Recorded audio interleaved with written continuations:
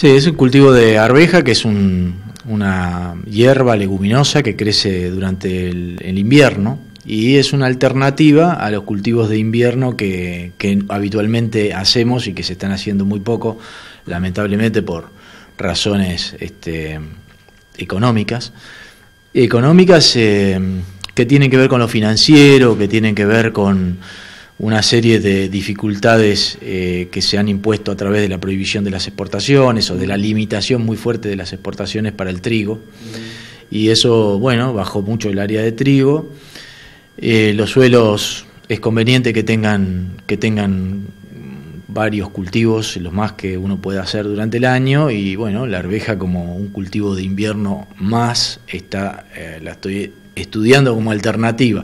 Mm. No quiere decir esto que eh, uno la esté recomendando eh, fuertemente para hacerla, es, es una alternativa como para ir explorando. Eh, Originalmente, ¿en qué zona, en qué parte de la República Argentina se, cultivaba la, arveja?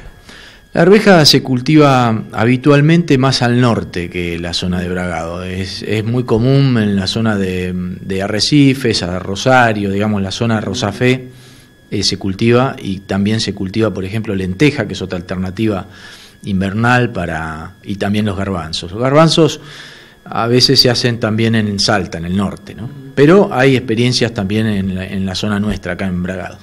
Nuestra zona, digo, no deja de sorprendernos, ¿no? nuestro suelo, más allá de que usted nos está hablando de que es una experiencia y hay que seguir probando y demás. Sí, eh, los resultados son, hasta ahora, de lo que pudimos evaluar, eh, tampoco tenemos mucha experiencia, pero este, en este par de años los resultados son buenos, están alrededor de, de los 2.000 kilos, se pueden superar, se pueden dar un poco por debajo, yo creo que eso es una expectativa razonable.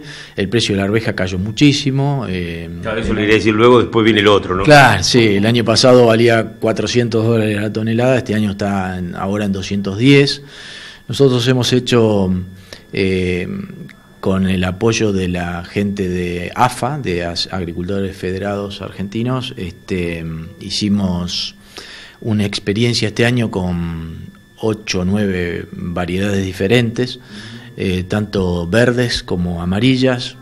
Y lo que vimos es que de la variedad que estamos usando, que mm, es la más difundida y la más común, este, hay alternativas muy interesantes que superan a los problemas habituales de la arveja, que son dos. Uno, el rendimiento, eh, en eso estuvieron mejor estas nuevas, y eh, la caída de la planta, porque la planta tiende a caerse muy rápidamente y es difícil de cosechar. Entonces lo que hay que buscar son variedades que se puedan sostener eh, paradas más tiempo al momento de la cosecha.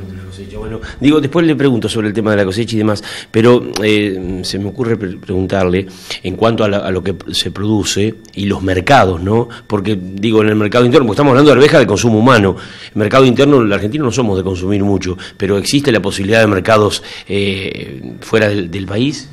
Sí, bueno, la arveja se cosecha en verde, ¿no es cierto? Ese es un tipo de cultivo, digamos, el cultivo se hace en verde, eh, que es otro manejo, y después seca, cuando ya la planta este, murió, eh, se cosecha y hay eh, cosecha de arveja amarilla o de arveja verde.